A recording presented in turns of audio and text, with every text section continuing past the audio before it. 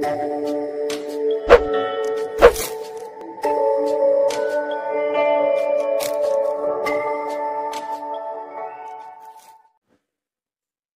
ഭക്ഷണം കഴിച്ചാൽ ദേഷ്യം വർദ്ധിക്കുമെന്നാണ് വിദഗ്ധർ പറയുന്നത്.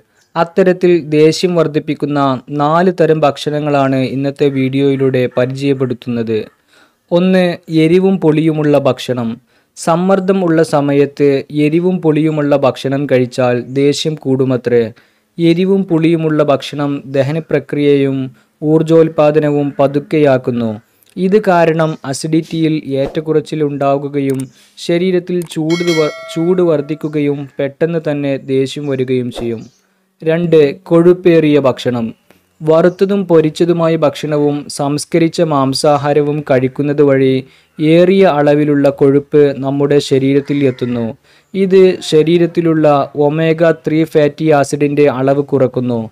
ഒമേഗ ത്രീ ഫാറ്റി ആസിഡ് കുറയുന്നത് മൂലം പെട്ടെന്ന് തന്നെ ദേഷ്യം വരും. മൂന്ന് കാപ്പി അല്ലെങ്കിൽ ചായ.